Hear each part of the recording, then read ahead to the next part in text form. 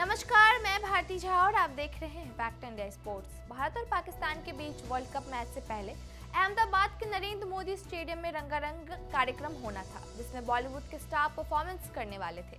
लेकिन इस मैच के ब्रॉडकास्ट स्टार स्पोर्ट्स ने बताया कि इस सेरेमनी का प्रसारण चैनल पर नहीं किया गया। ट्वीट में बताया गया था कि यह सिर्फ़ स्टेडियम में मौजूद फैंस के लिए है, इसका ब्रॉडकास्ट नहीं होगा। इस सेरेमनी में अरिजीत सिंह, शंकर महादेवन और सुखविंदर सिंह, श्रद्धा कपूर और सुनिधि चौहान ने परफॉर्म किए हैं।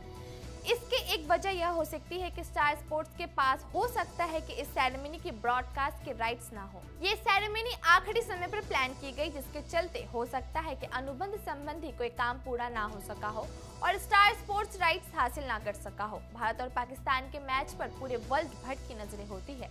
ऐसे में सेरेमनी पर भी लोगों की नज़रें थी। वह भी इस रंगारंग कार्यक्रम को देखना चाहते थे।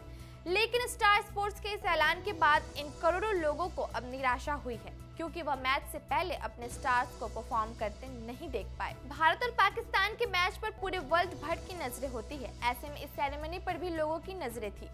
वह अभी इस रंगारंग कार्यक्रम को देखना चाहते थे, लेकिन स्टार स्पोर्ट्स के इस ऐलान के बाद इन करोड़ों लोगों को अब निराशा होगी क्योंकि वह मैच से पहले अपने स्टार्स को परफॉर्म करते नहीं देख पाए। इस वर्ल्ड कप की ओपनिंग सेरेमनी नहीं हुई थी और यह सेरेमनी एक तरह से उसकी भरपाई के तौर पर देखी जा रही थी। हर बड़े टूर्नामेंट से पहले ओपनिंग सेरेमनी होती है, लेकिन इस वर्ल्ड कप में ऐसा नहीं हुआ था। और भी स्पोर्ट्स से जुड़ी अपडेट के लिए देखते रहिए फैक्ट इंडिया स्पोर्ट्स